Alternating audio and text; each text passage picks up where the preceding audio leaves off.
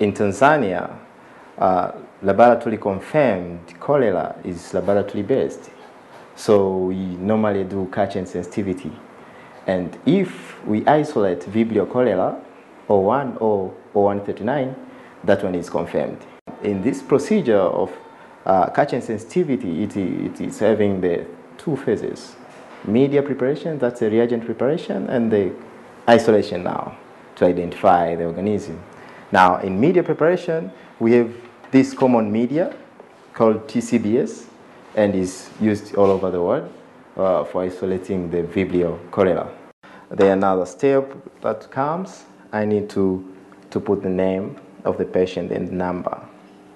After putting that information, I will come now to my sample and streak and inoculate the sample. Then this media will go to one machine called incubator and we will incubate it for 24 hours in 37 centigrade. Then uh, you'll be surprised this media will change color from green to yellow like this one.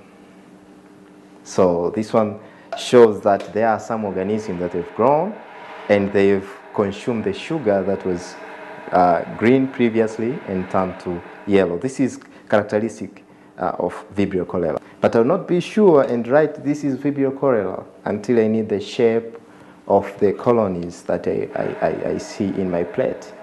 If I see very flat colonies, then I can be on glimpse that this may, might be cholera. They too, I'm going to, to confirm if it's cholera or not. Now I, I, I will have to inoculate to another media because this media is having color.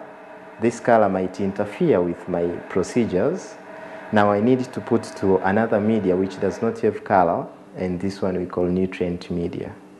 Uh, just to know the, the results or to confirm the results after sample has been collected, it takes about 48 hours. In counting the day, right, is uh, taking three days. After receiving the sample in the lab, then the following day, you see biochemical test, and the other day is confirmatory.